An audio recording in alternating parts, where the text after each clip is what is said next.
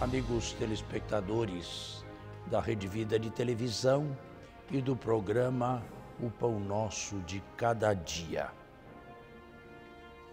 Nós hoje celebramos a festa de São Tomé Apóstolo.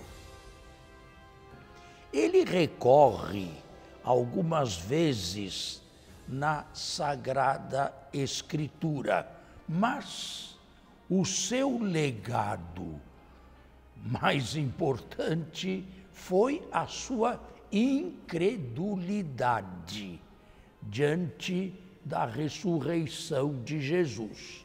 Tomé, com todos os outros, fugiram por ocasião da prisão. Mas não viu Jesus ressuscitando e não acreditava que Jesus tinha ressuscitado. Se eu não colocar os meus dedos nas suas chagas e a minha mão no seu lado aberto pela lança, não acreditarei. E parece que Tomé está cheio de bom senso. E, no entanto, uma semana depois, Jesus novamente aparece. A paz esteja convosco. E depois, censura Tomé.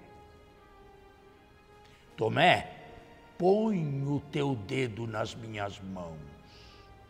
Põe a tua mão no meu lado.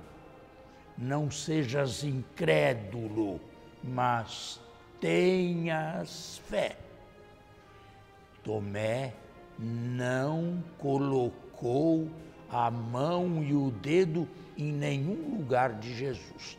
Apenas se ajoelhou e disse: Meu Senhor e meu Deus.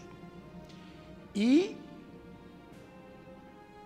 é a única bem-aventurança de Jesus no Evangelho. Bem-aventurado aqueles que, sem me verem, terão acreditado. Tu acreditaste porque me viste.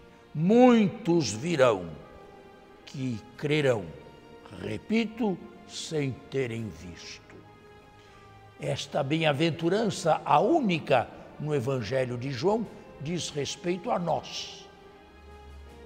Jesus, por assim dizer, antes da cortina se cerrar definitivamente sobre aquela cena final do Evangelho, abre-a e fala à plateia. A plateia somos nós. Bem-aventurados os que creem sem terem visto. Somos nós. Desde que a nossa crença, fruto da graça de Deus, uma fé teologal, leve à prática. E a prática aqui é o seguimento de Jesus, não como um homem